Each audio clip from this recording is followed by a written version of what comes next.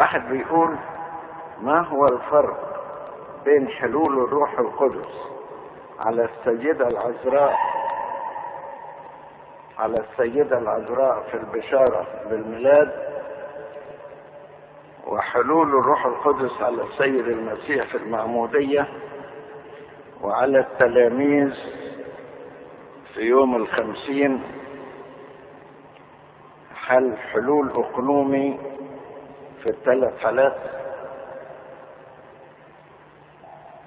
حلول الروح القدس على الناس عموما هو حلول نعمة. نعمة الروح القدس تكون معانا. لكن الحلول الأقنومي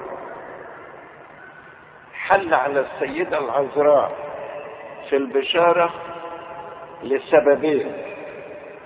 لكي يكون جنينا في داخلها بدون زرع بشر ودي تحتاج للأقنوم. وأيضا لكي يطهر مستودعها حتى إن المولود منها لا يرث الخطية الأصلية ده على السيدة العذراء ولكنه كان حلولا مؤقتا. يعني خلال فترة الحمل. بعد كده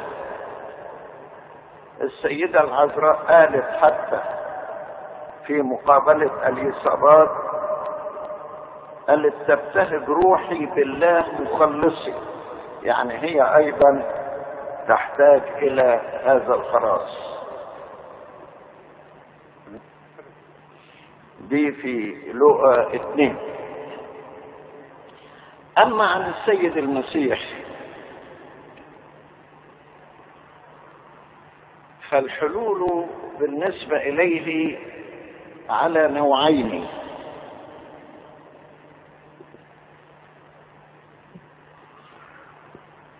نوع إنه ممسوح للخدمة. كما ورد في سفر أشعياء النبي روح السيد الرب علي لأنه مسحني لأبشر المساكين إلى آخره. ده اللي حدث في يوم العناد لكن هناك علاقة بين المسيح وبين الروح القدس منذ الأزل. العلاقة الأقنومية لأن الآب والابن والروح القدس الثلاث اقانيم موجودة منذ الأزل. وثابتة في بعضهم البعض منذ الأزل. ولذلك نجد في سفر اللاويين اصحاح اثنين في تقدمة الدقيق وتقدمة الدقيق ترمز إلى تجسد السيد المسيح وليس إلى صلبه لأنها خالية من الدم تقدمة الدقيق. يقول في تقدمة الدقيق اللي هي ترمز لتجسد المسيح تكون ملتوتة بزيت ومدهونة أو ممسوحة بزيت. الزيت يرمز للروح القدس. ملتوتة بالزيت يعني المسيح ثابت في الروح القدس والروح القدس ثابت فيه منذ الأزل. ممسوحة بزيت إنه مسح للخدمة في فترة تجسده. دي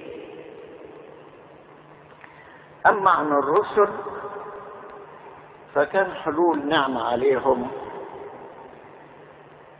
اللي هو أعطاهم موهبة الألسن والقوة على التأشير والشجاعة وليس حلولا أقنوميا.